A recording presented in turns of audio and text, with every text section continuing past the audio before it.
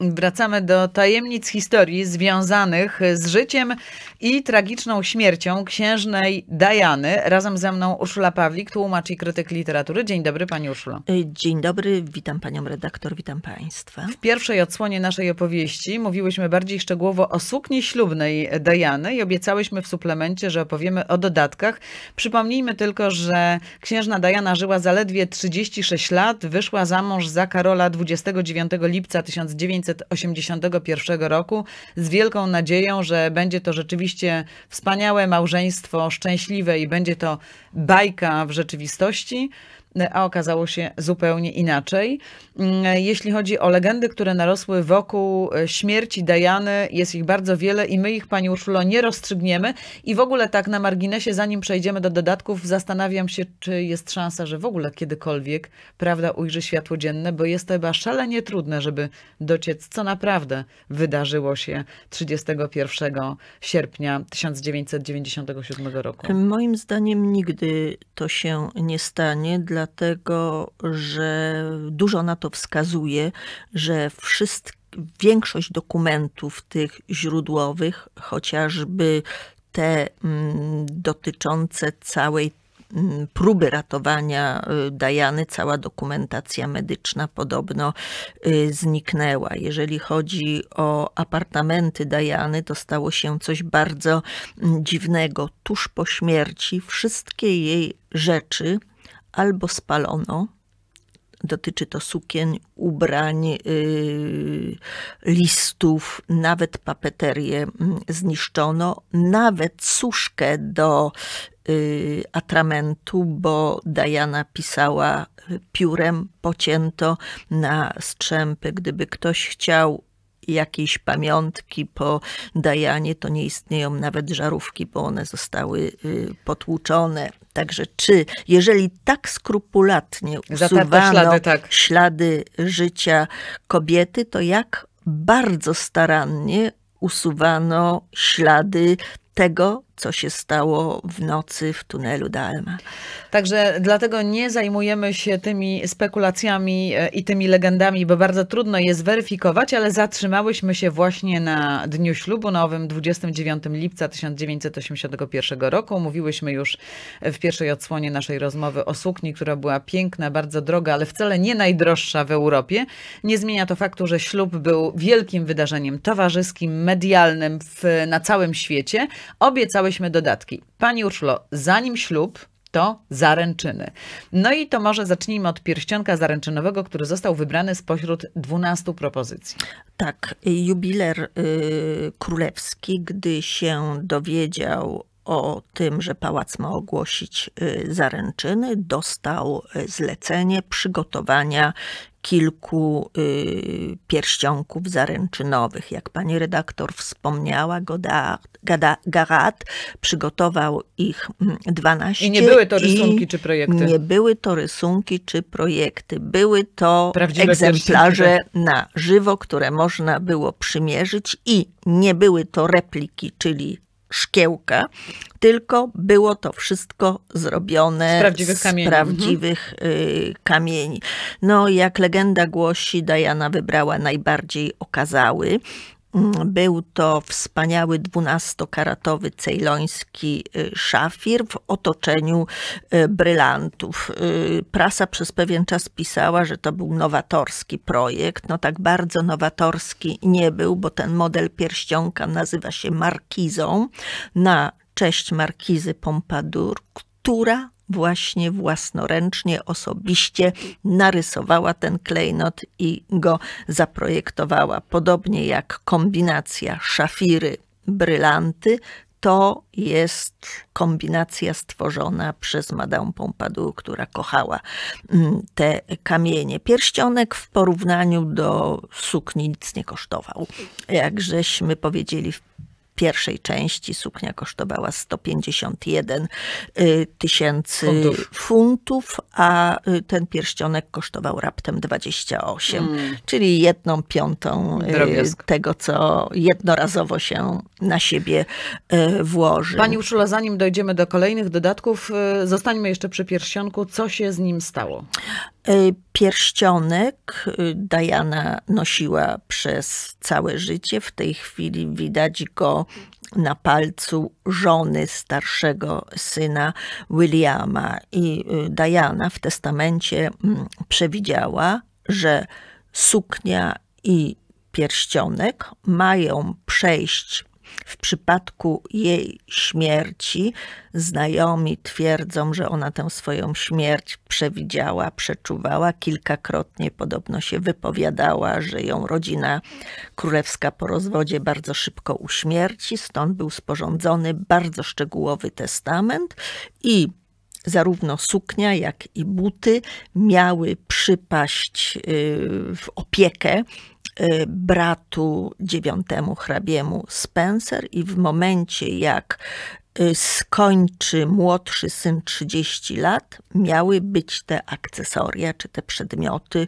im wydane. I znowu Diana tutaj zrobiła też taką y, klauzulę, która mówi, że ten z synów, który pierwszy się ożeni, temu do podziału przypadnie pierścionek, czyli drobiazg w porównaniu z suknią. Natomiast drugiemu ma e, przypaść suknia plus buty. E, tym sposobem e, żona Williama, księżna Kate Middleton, nosi ten wspaniały, jak się okazuje, wcale niedrogi szafir, natomiast fortunę w kawałku tafty jedwabnej i w butach ma Harry, bo buty też kosztowały ładnych parę tysięcy. I my teraz będziemy mówić o butach, choć myślę sobie, że w pierścionku znacznie łatwiej chodzi się na co dzień, nosi się go na co dzień niż suknię ślubną. Sprzed... Jak widać na zdjęciach. Nie, no ale nie my będziemy to rozstrzygać, co cenniejsze i zresztą myślę, że najistotniejsze jest to, że to pamiątka, prawda? Buty. Powiedziała pani o butach, no bo suknia ślubna, ale przecież panna młoda idzie w butach. Te buty też były specjalnie przygotowane dla Dajany, z wyhaftowanym również serduszkiem na butach, ale to nie wszystkie tajemnice, jakie te buty kryły. No, przede wszystkim trzeba być w butach na weselu. Przede wszystkim tak. No tak, na ślubie i na weselu. Tak, jak to mówił jeden z naszych wielkich y, poetów. Buty były w kolorze sukni, też kość słoniowa, były Góra była z jedwabnej satyny, dół, czyli y, podeszwa była z cieniuteńkiej y, skórki, ale to nie wszystko, jeśli chodzi o podeszwę ten y, taki mostek, o którym się mówi, czy ta stalka. On nie był gładki, ta podeszwa nie, nie była był gładka. Mhm. gładki, on był y, wykończony w sposób bardzo y, frymuśny. Na czarnym tle to była warstwa czarnej laki, malowana w bardzo ozdobne złote i srebrne wzory, taki model, taki ornament florystyczny, w którym były ukryte inicjały C i D, czyli Charles i, Diana. Diana. Podobno na jej zlecenie wyhaftowano ręcznie te inicjały i to także miało przynieść szczęście parze młodej, podobnie jak podkowa, o której pani wspominała, wyhaftowana e, złotym drucikiem e, na halce. No nie pomogły te no, zaklinanie rzeczywistości tak, w taki sposób. te y, inicjały, one nie tylko były na y, podeszwach, ale one również były wewnątrz y, butów, tutaj połączone już y, razem. Góra no butów właśnie. też, y, jak żeśmy powiedzieli, była to jedwabna y, satyna, wyhaftowana perłami. Tych pereł było 132, plus do tego było na tych butach ponad 500 kryształków. Dokładnie 542 e, kryształki, gdzie przy noskach, czy też góra tych butów, przód stopy, tam było wyhaftowane, pomniejszone to samo serce, które było na staniczku y, sukienki. Ono było też je wyharftowane z perełek drobniutkich i obramowane tą samą koronką, które, y, która była na y, sukni. Podobno buty były robione przez 6 miesięcy, co nie jest możliwe, bo między ślubem a zaręczynami było tych miesięcy Trochę niecałych, mm, niecałych sześć. Co ważne, Ciekawą te buty nie, rzeczą, nie miały wysokiego obcasa, prawda? Ciekawą rzeczą tutaj był obcas, a raczej jego brak. I te słynne takie balerinki, które mamy na dwucentymetrowym obcasie, to jest y, wynalazek Diany. Dlaczego? Chodziło o to, żeby nie była wyższa od swojego tak, męża. Ona była wyższa od swojego męża. To była kobieta, która miała ten wzrost powyżej 180, bodajże 182 centymetry. I teraz chodziło, żeby nie dokładać y, sobie jeszcze centymetrowo. Podobno ona musiała w ogóle się trochę garbić, Garbić, na tym ślubie, tak. żeby właśnie nie przewyższała pół głowy Karola. Tak, natomiast wszystkie y, zdjęcia, które były robione, to Karol stoi stopień y, wyżej albo nawet y, dwa y, od niej. I stąd też welon, który nie był taki bardzo obfity na górze, bo ta różnica jeszcze by się No tak, bo ją podwyższało. mm, zwiększyła. Pani Urszulo, mamy buty, pierścionek zaręczynowy, jeszcze szybciutko o kolczykach, bo miała też kolczyki, które też były takimi klejnotami. e, rodzinne, mm, kolczyki, które były brylantami w kształcie gruszek, e, zwisające i do tego jeszcze otoczone wianuszkiem 50 malutkich brylantów. Należały do matki. Matka je tylko wypożyczyła na y, ślub i potem od śmierci Dajany już ich nie nosiła i jedyny raz, jaki je ubrała, to na pogrzeb córki. Obecnie te kolczyki są w posiadaniu od 2004 roku u najstarszej siostry Dajany, która je odziedziczyła w spadku. I jeszcze króciutko o tiarze. W pierwszej odsłonie wspominałyśmy, że do niej przymocowane był welon, co nie było proste, ale tę tiarę Diana bardzo lubiła. Co to był za diadem? Słynna tiara Spencerów, tiara, która nazywa się węzłem kochanków, składa się, y, została wykonana w XVIII wieku.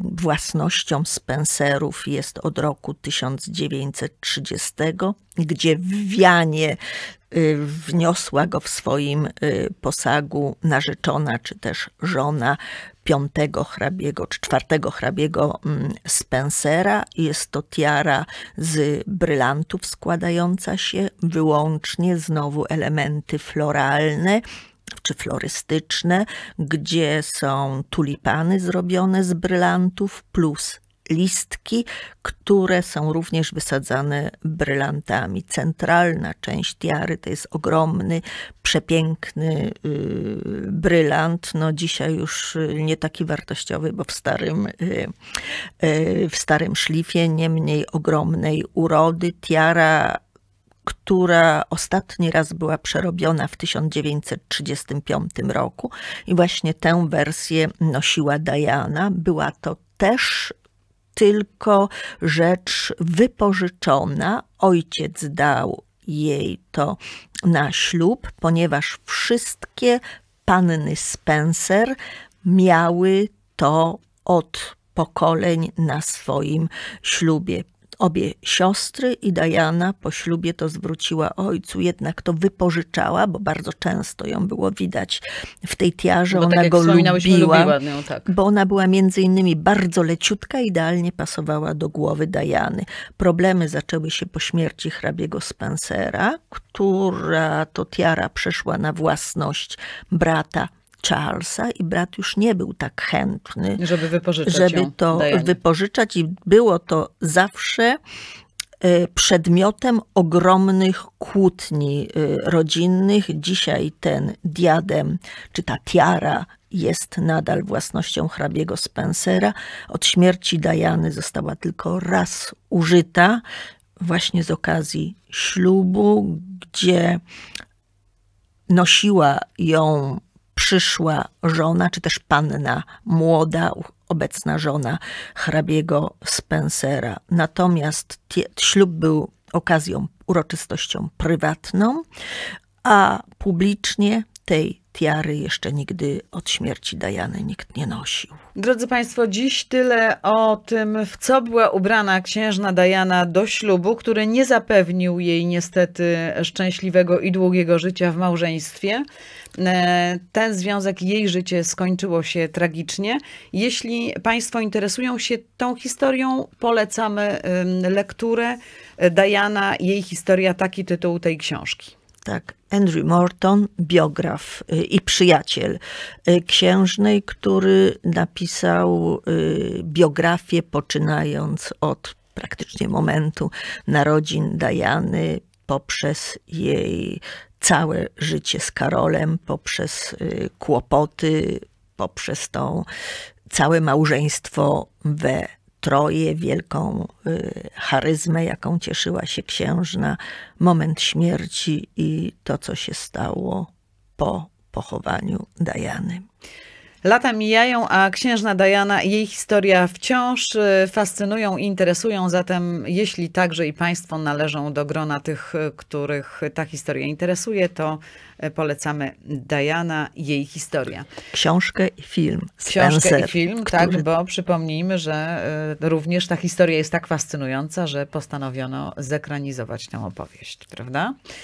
Bardzo dziękuję. Moim gościem i Państwa była Urszula Pawlik. Y, dziękuję pani redaktor, dziękuję państwu. Agnieszka Strzemińska, dziękujemy za wspólny czas i zapraszamy na kolejne spotkania z tajemnicami historii w Radiu Katowice. Radio Katowice.